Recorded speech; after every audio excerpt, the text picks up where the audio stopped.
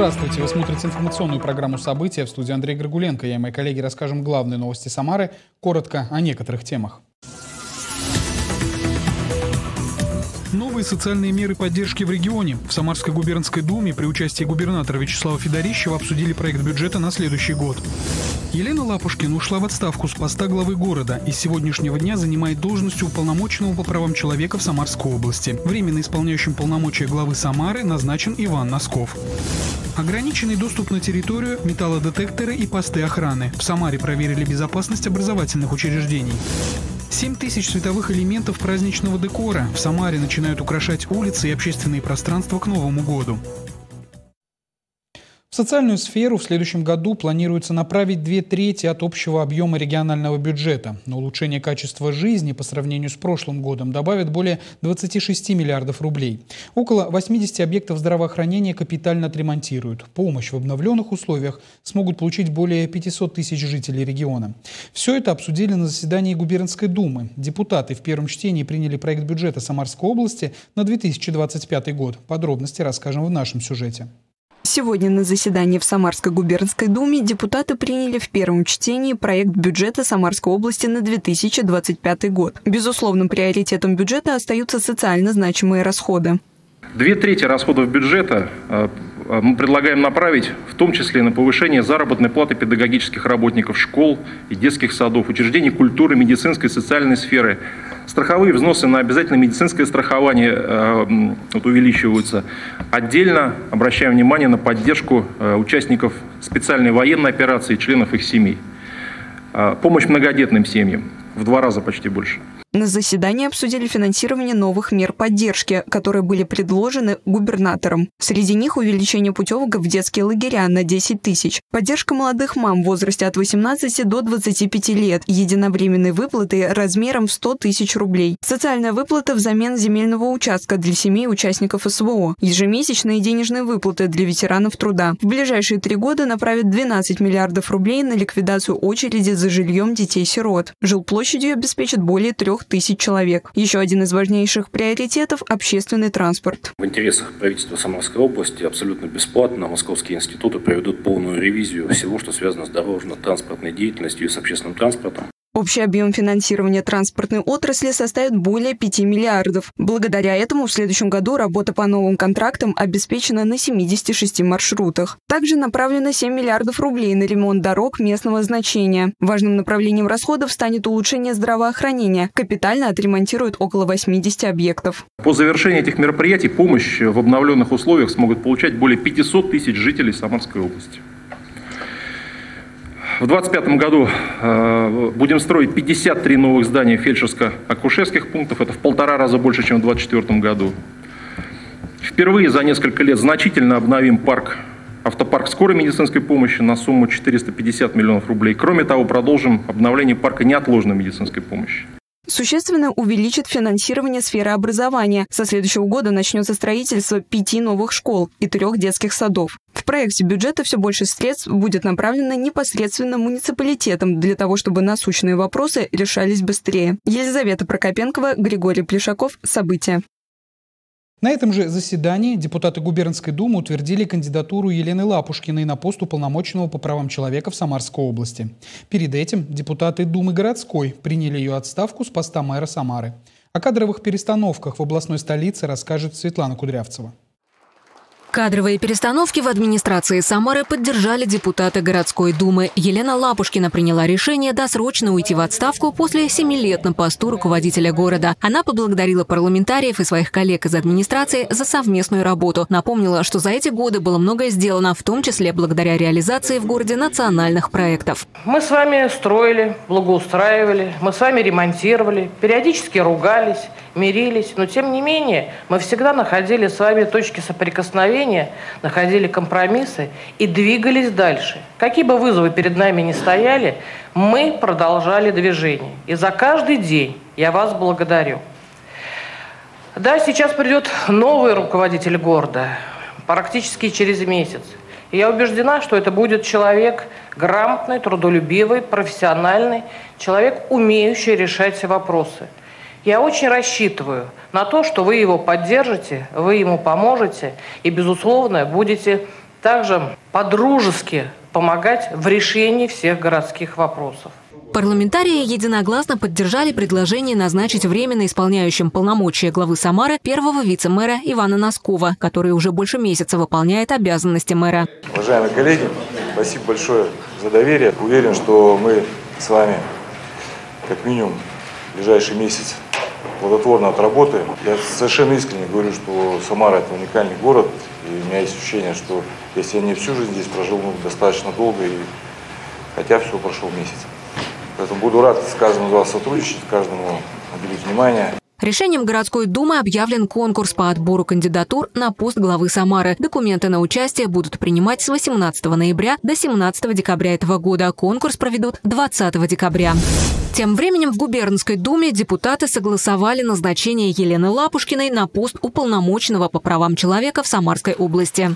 Не могу не обойтись без слов искренней благодарности, безусловно, Вячеславу Андреевичу за то, что он поддержал меня и выдвинул на этот пост. Я понимаю, что для него это тоже было очень важным решением, значимым решением. Могу сказать, что я приложу все усилия, все, что от меня зависит, для того, чтобы работа была успешной, чтобы все права граждан, которые прописаны в Конституции Российской Федерации, безусловно, защищались на территории Самарской губернии. Отрадно, что э, следующим и преемником моим стала э, Елена Владимировна Лапушкина, человек, который очень хорошо знает систему э, работы муниципалитетов. Она еще, кроме этого, является председателем Ассоциации муниципальных образований нашей Самарской области. Она до тонкости знает всю работу, связанную с обеспечением э, жизни наших граждан, проживающих в каждом муниципалитете. Ольга Гольцова, исполнявшая полномочия регионального омбудсмена с 2014 года, обещала оказать со своей стороны всю необходимую поддержку Елене Лапушкиной в деле соблюдения всех прав жителей Самарской области. Светлана Кудрявцева, Николай Епифанов, Елизавета Прокопенкова, Григорий Плешаков. События. Открытый диалог и конкретные решения. Губернатор Вячеслав Федорищев встретился с инициативными жителями пятой просеки Самары, которые обеспокоены плотной застройкой и отсутствием в районе социальной инфраструктуры. В совещании приняли участие депутат Госдумы Александр Хинштейн, вице-губернатор Александр Фетисов, временно исполняющий полномочия мэра Самары Иван Носков, руководители профильных министерств. Глава региона дал ряд важных поручений. О них расскажем в следующем сюжете. В домах на Пятой просеке Октябрьского района Самары проживает более 20 тысяч человек. Социальной инфраструктуры не хватает. Переполнены поликлиники, детские сады и даже новая школа. О проблемах инициативная группа самарцев рассказала на встрече с губернатором Вячеславом Федорищевым, депутатом Госдумы Александром Хинштейном, временно исполняющим полномочия главы Самары Иваном Носковым и другими участниками совещания, которое прошло как раз в стенах 26-й школы. Ее возвели на Пятой просеке несколько лет назад благодаря активности самих местных жителей перегруженная поликлиника, которая построена в советские времена. И э, за настоящее время ее перегрузили пятой, шестой, седьмой просекой. А это все новострои, это все э, каменные джунгли. Местные жители рассказали, что застройка микрорайона продолжается. Ранее были выданы разрешения на возведение многоэтажек. Это еще больше нагрузит соцобъекты и местные дороги. Губернатор Вячеслав Федорищев, пообщавшись с активистами, дал ряд важных и жестких поручений. Я запрещаю любое строительство МКД в рамках территории на ближайшие три года полностью. Те разрешения, которые уже были выданы по строящимся объектам, я поручаю администрации губернатора проверить с привлечением юристов и антикоррупционщиков. Те разрешения, которые готовятся к выдаче, замораживаются на три года. Программа КРТ, которые у вас там были подготовлены, замораживаются. Три года никакого разрешения на жилищное строительство там не будет. Отдельное решение по социальным объектам. Будет создан проектный офис, который займется разработкой социальной инфраструктуры. Советником на общественных началах Вячеслав Федорищев предложил стать главе инициативной группы жителей Александру Кравченко. Давайте договоримся, что в нашем проектном офисе мы поликлинику, детский сад, спортивные объекты и школу построим до сентября 2029 года. Это сложно. Это кто-то скажет, многие, что это невозможно. Но для того мы и есть с вами, чтобы решать невозможные проблемы. Временно исполняющий полномочия главы города Иван Носков представил губернатору и членам совещания возможные участки под строительство соцобъектов. И самое главное, сейчас в декабре нам принять генплан, в котором все эти участки будут переведены. А напомню, мы парк э, пионеров где хотели сделать? Э, где у нас КФТ? Давай сделаем. Да, ну.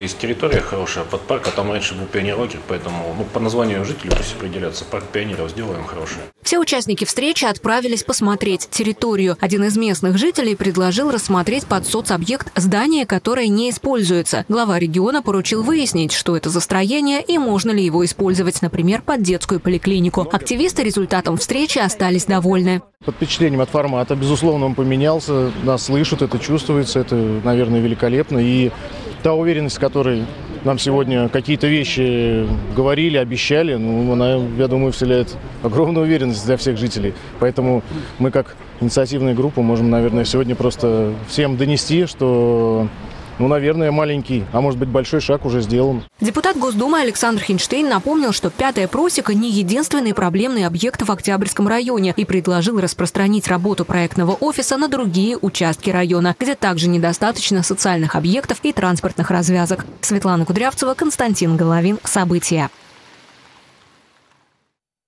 До конца года необходимо возобновить работу проектного офиса по историческому поселению Самары. Об этом на встрече с градозащитниками говорили временно исполняющий полномочия главы города Иван Носков и депутат Госдумы Александр Хинштейн. Какие решения были приняты по ценным градоформирующим объектам, которые оказались в списках строения под снос, расскажем далее.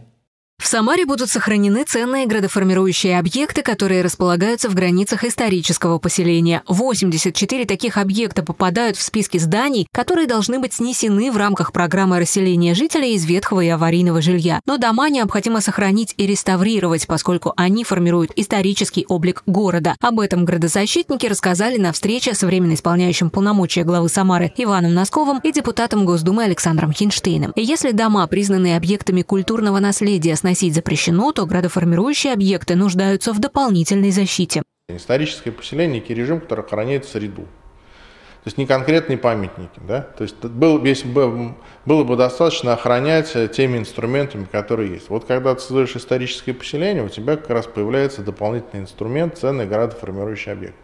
И они оцениваются не по принципу аварийный и не аварийный. Просто вот есть улица, в ней есть два объекта культурного наследия и еще какие-то дома. Вот они получают статус ценных градоформирующих объектов, потому что если их снести и на них построить что-то новое, да, утрачено будет вот этот целостный ансамбль. На встрече было решено, что до конца года возродят работу проектного офиса по историческому поселению. Такое решение озвучивал ранее губернатор Самарской области Вячеслав Федорищев, и градозащитники эту инициативу поддержали. Завершаются работы по э, проекту Объединенной зоны охраны исторического поселения. Рассчитываю, что в ближайшее время они будут направлены в Минкультуру России. Э, ранее все замечания, которые федеральный центр высказывал, они устранены. Э, на себя берут сопровождение э, этого проекта с тем, чтобы максимально его быстро ускорить. И еще одно точечное, но важное решение. Те ценные градоформирующие объекты, которые являются аварийными, решено исключить из списков на снос и реконструировать. Светлана Кудрявцева, Константин Головин. События. Безопасность превыше всего. В школе номер 57 прошел мониторинг проверки деятельности учреждения по обеспечению безопасности. Как осуществляется контроль доступа и какие меры предпринимаются для защиты учащихся, расскажем в нашем сюжете. В школе номер 57 с начала учебного года обучается около трех тысяч юных самарцев. Для обеспечения их безопасности в учреждении функционирует комплексная система охраны. Она включает в себя контроль доступа, электронные замки на калитках и электронные карты, которые выдаются детям на весь период обучения. Проникновение посторонних лиц в школу практически невозможно. Э, конечно, есть посетители, родители – внешние посетители, но все они могут попасть в школу, преодолевая э, контроль, который им обеспечивает охранная фирма. Здравствуйте, директору школы на прием. Документ какой-то. Да, паспорт. Целях обеспечения безопасности здания школы оснащены средствами передачи тревожных сообщений в подразделении войск Росгвардии, системами оповещения и управления эвакуацией людей при возникновении чрезвычайной ситуации, системами видеонаблюдения, охраны сигнализации, системами контроля управления доступом, а для исключения проносов здания образовательной организации запрещенных предметов на входных группах установлены стационарные рамки металлодетектора. У меня здесь учатся двое детей, сын в восьмом классе и дочка в девятом классе. Сейчас такое непростое время, и, конечно, безопасность очень нужна. Это очень важно и нужно, чтобы мы были спокойны за безопасность наших детей. В образовательных учреждениях Самары внедрены подобные технические средства, направленные на обеспечение безопасности. Данные все средства безопасности, как физическая охрана, так и технические средства обеспечения безопасности, в первую очередь нацелены на то и нужны для того, чтобы наши дети э, были в безопасности, чтобы родители, отправляя детей в школы или же в сады, или же в учреждения дополнительного образования, понимали, что дети в безопасности, могли быть уверены в этом. Потому что это наши дети, мы в ответе за них, мы несем ответственность за них. В 2024 году в Самаре прошло несколько всероссийских учений, посвященных безопасности учащихся. В них приняли участие все образовательные учреждения города. В каждой организации разработаны алгоритмы действий персонала, работников частных охранных организаций и обучающихся в случае чрезвычайной ситуации, а также информационного взаимодействия с территориальными органами МВД России, Росгвардии, Росгвардии и ФСБ России. Августина Охременко, Сергей Баскин. События. Самару начали украшать к Новому году. В общественных пространствах и на городских улицах до 20 декабря появится около 7 тысяч световых элементов праздничного декора. На склоне площади Славы уже устанавливают масштабную, многоуровневую светодинамическую конструкцию. За процессом наблюдала наша съемочная группа. Волжские мотивы на склоне у площади Славы. Здесь уже накатывают светодинамические волны. Всего их несколько десятков. Масштабная конструкция состоит из четырех уровней. На склоне установят фонтан, композицию «Северное сияние», арочные колонны и светящиеся шары. Инсталляция готова на 80%. По мере завершения монтажа специалисты проводят тестовое подключение отдельных фрагментов. Все для, от души, для людей нашей любимый Самар сделаем. Без иллюминации это не Новый год. А, иллюминация это будет очень красиво. Всего на городских территориях запланировано разместить около 7 тысяч элементов иллюминации. В преддверии новогодних дней горожанам создают праздничное настроение. В локациях для прогулок и массового отдыха установят световые скульптуры и фонтаны, пространственные композиции, елки, светодиодные гирлянды. Вдоль основных дорог города отремонтируют существующие световые консоли на опорах системы освещения. Все элементы иллюминации энергоэффективные, не оказывают значительной нагрузки на электросеть эти не требуют внушительных затрат на электричество. Подготовительные работы мы начали в середине октября. После сборки подиумов окончательно начнем сборку объемно-пространственных композиций, установку, проверку. Вместе с фонтанами, да? С Само собой. Все поэтапно. Кроме муниципального предприятия «Самара Горсвет» к процессу декорирования подключатся другие профильные предприятия и учреждения. Парки Самары, Самарская набережная, спецремстрой «Зеленхоз». Самое масштабное оформление иллюминации и по традиции будет на площади имени Куйбышева. Здесь созданием новогоднего комплекса будут заниматься во взаимодействии с Департаментом культуры и молодежной политики администрации Самары. Местные жители с нетерпением ждут преображения города. Очень ждем. Когда и елки, когда украшают, и дорогу украшают очень красиво. Настроение сразу поднимается. Охота выходить на улицу. Зимой не так часто хочется гулять. А когда украшено, настроение появляется.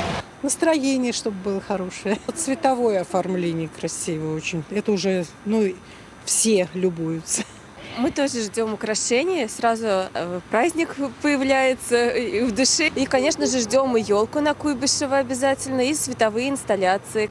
Коммерческие предприятия Самары также приступили к оформлению фасадов, витрин, входных групп, прилегающих территорий. Новогоднее убранство появилось в историческом центре на улицах Куйбышева и Ленинградской у ряда торговых центров. Завершить все работы по установке новогодней иллюминации планируют до 20 декабря. При этом не будут ждать, когда световой декор смонтируют полностью, чтобы включить. Объект готов, его уже включают сразу вместе с городским освещением.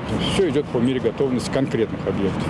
Городская администрация заботится о том, чтобы настроение у людей э, в наше трудное время по, к Новому году все-таки было соответствующим, хорошим. Мы стараемся, чтобы город был украшен, было все красиво и радовал глаз. Для обеспечения бесперебойной работы электрооборудования профильные службы предусмотрели дежурные бригады, повышенное внимание и обеспечению безопасности. По периметру масштабных световых фигур установят ограждения, заходить за которые не рекомендуется. Для декорирования территорий в следующем году временно исполняющий полномочия главы городского округа Самара Иван Носков дал поручение проработать новый проект комплексного светового оформления города.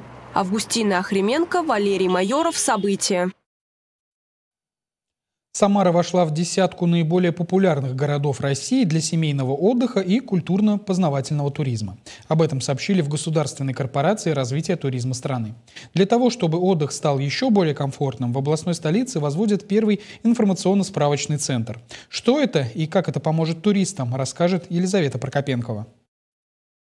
Самара – крупный туристический центр Поволжья. Здесь находится более 100 культурных и исторических объектов, которые посещают туристы. Чтобы создать для них комфортные условия, в декабре этого года запустят первый информационно-справочный центр. Тут можно будет узнать о туристических событиях и отдыхе в Самаре. Смысл а, вот этой территории в том, чтобы помогать э, тем, кто приезжает в наш город, а, рассказать о достопримечательностях, о тех местах, локациях, а, которые интересны, о экскурсионных программах. Вот. Э, здесь будет и раздаточный материал, здесь можно будет отдохнуть, выпить чашечку кофе, посидеть, зарядить э, телефон и направиться дальше созерцать наш замечательный город. Напомним, что ранее Самара победила в конкурсе областного министерства туризма по выбору городских округов на реализацию мероприятий по формированию туристического кода. В первый этап реализации входит размещение навигационной системы из 10 вех, 6 из которых будут оснащены интерактивным сенсорным экраном, ярмарочного комплекса и информационно-справочного центра. На данный момент выполнен монтаж металлоконструкции, остекление здания, э, кровля. Э, монтируем в данный момент фасад.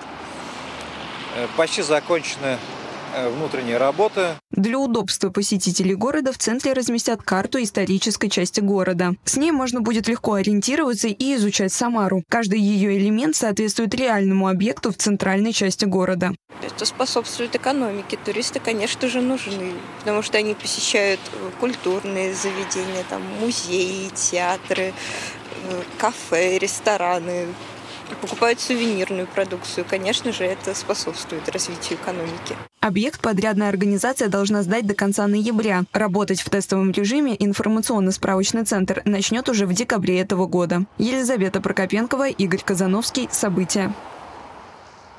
Далее вас ждет обзор телеграм-каналов городской администрации и профильных ведомств. Вот о чем они писали сегодня на своих информационных площадках. Телеграм-канал Красноглинского района сообщает, что сегодня стартовал прием заявок для включения дворов в программу «Комфортная городская среда». Срок приема предложений до 13 декабря. Затем в течение 15 рабочих дней комиссия будет рассматривать поступившие проекты. Прием осуществляют в здании администрации района на улице Сергея Лазо, 11. В школе номер 70 прошло посвящение новых участников в ряды юнармии. Они принесли торжественную клятву всегда быть верными Отечеству, соблюдать устав организации, быть отважными, смелыми, защищать защищать слабых, достигать успехов в учебе и спорте, чтить память героев. Это важный шаг для каждого ученика, ведь они становятся частью большого патриотического движения, объединяющего молодежь всей страны. В телеграм-канале Ленинского района поздравляют школьников с этим знаменательным событием. На этом выпуск подошел к концу. Продолжайте следить за новостями на официальном сайте Самара ГИС, в нашем телеграм-канале, на страницах в Одноклассниках и ВКонтакте. Выпуски программы смотрите на видеохостингах и в социальных сетях. Всего доброго. Увидимся.